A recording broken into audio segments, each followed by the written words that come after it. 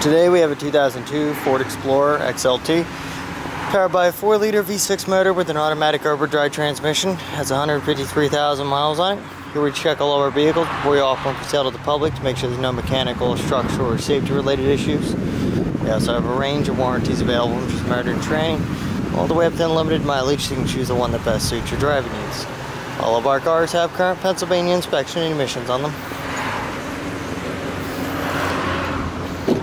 Has power windows, locks, mirrors, power driver seat, leather, 153, aftermarket auxiliary and USB, AC. Pretty clean. Back. It's got the third row. And there's your information.